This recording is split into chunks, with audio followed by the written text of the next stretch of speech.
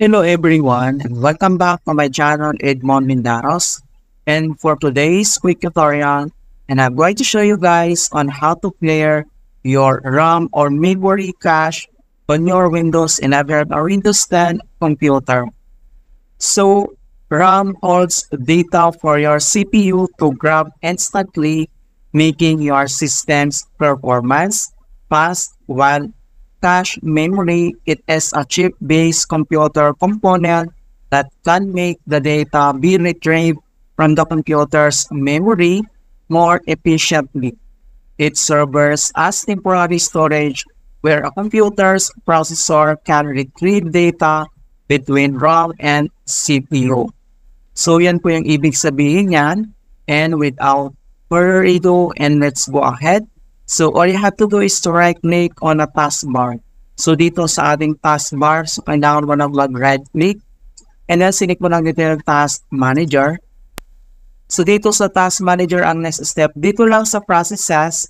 So uh, dito ay kailangan lang natin ito um, i-disable. Okay? So sinik ka lang dito kung ano yung pwede natin i-disable. So click mo lang ganyan.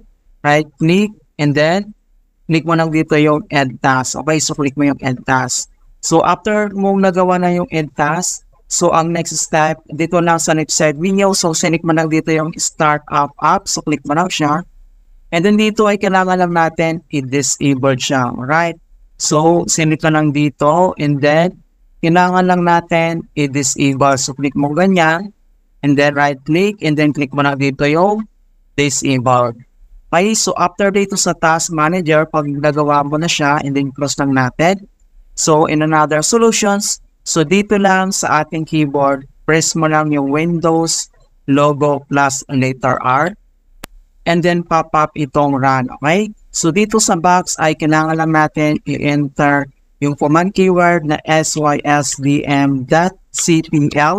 So i-type mo lang yung command keyword na sysdm .cpl. So, one word lahat. And then, click mo lang dito yung OK.